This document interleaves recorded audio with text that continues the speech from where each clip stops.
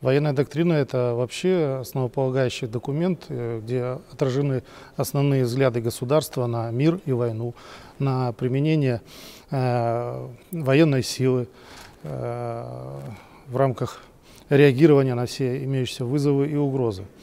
Сегодня на Совете Безопасности мной был представлен проект обновленной военной доктрины. В общем-то, можно сказать, что это э, новый документ, но самое главное, что в этом документе сохранена преемственность. И эта преемственность прежде всего заключается и дух нашей доктрины. Это миролюбивый характер нашего народа.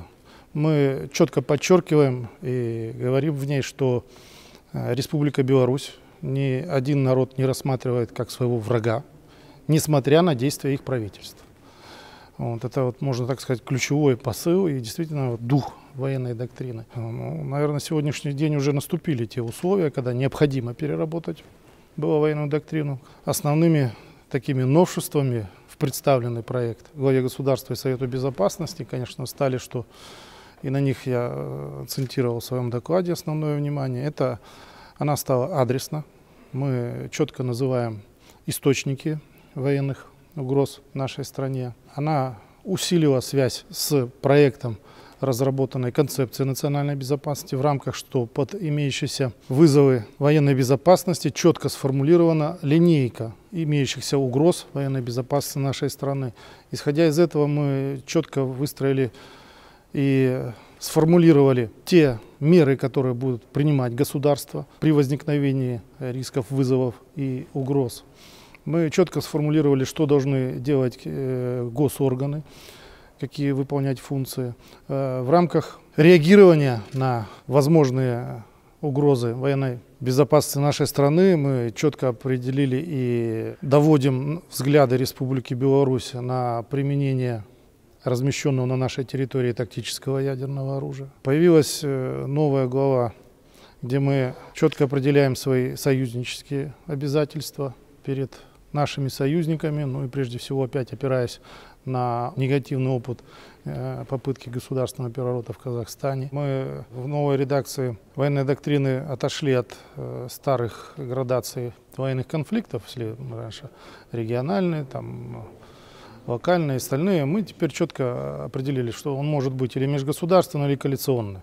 То есть мы взяли градацию по количеству участников, и четко прописываем, что Республика Беларусь может самостоятельно противостоять угрозам в рамках, если возникнет э, межгосударственный конфликт, особенно с соседними с нами государствами. Вот. В рамках э, реакции э, мы разделили угрозы как на внутренние и внешние. Также четко определили свои действия и порядок действия государства, реагируя на эти вызовы. Ну и еще ряд таких множеств нововведений, которые были обсуждены на уровне государственных органов. Э, сегодня в ходе Совета Безопасности активно э, обсуждались определенные главы разделы э, военной доктрины по результатам работы.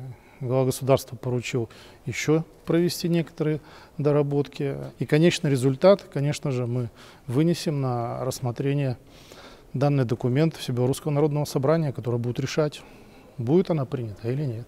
На сегодня на заседании Совета Безопасности в рамках э, поручения, которое было дано год назад, на заседании Совета Безопасности в феврале прошлого года о обсуждении проекта концепции национальной безопасности на диалоговых площадках как раз был э, доклад о том, как была организована эта работа. Мы провели более 70 дискуссионных площадок, затронули все регионы нашей страны. Самое главное, что мы получили обратную связь. Людей волнует сегодня прежде всего мир, стабильность, безопасность. Поэтому в рамках развязывания военных конфликтов, в рамках происходящих процессов сегодня э, на геополитической арене, заявления некоторых политиков, то, что мы слышали э, совсем недавно в ходе конфликта на Ближнем Востоке, заявления, к сожалению, наших соседей, в частности э, Польши, просьбы их о размещении на территории Польши э, ядерного, американского ядерного оружия. Сегодня в Европе и так 150 э, ядерных боеголовок американских размещаются на территории Европы. Это не считая ядерного оружия Франции и Великобритании.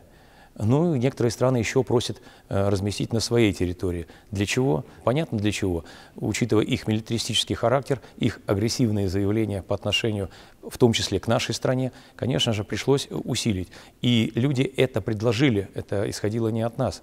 Вот, поэтому э, это нашло понимание и отражение в разделах э, концепции национальной безопасности. Поэтому мы усилили вот это именно рисками возникновения военных конфликтов с применением ядерного оружия. Общаясь э, с представителями э, наших религиозных конфессий, с нашим союзом женщин, с БРСМ, мы усилили концепцию таким положением, как э, всемирная защита Э, и сбережения Института традиционной белорусской семьи как союза между женщиной и мужчиной по рождению.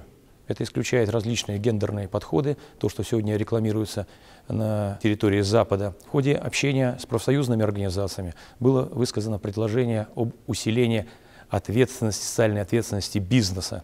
Э, это тоже нашло отражение в проекте э, документа концепции национальной безопасности. Некоторые э, положения концепции подкорректированы были в связи с выходом указов о гражданском обществе, вот, о народном ополчении. Ну и узаконили, скажем так, концепции мы порядок оценки то есть индикаторов э, национальной безопасности. Постановление Совета Безопасности сегодня оформлено и принято решение о том, что данный документ вынести на утверждение на Всебелорусское народное собрание. Будем надеяться, что наши граждане его утвердят, и этот основной стратегический документ после Конституции будет взят за основу и взят на вооружение для защиты наших национальных интересов.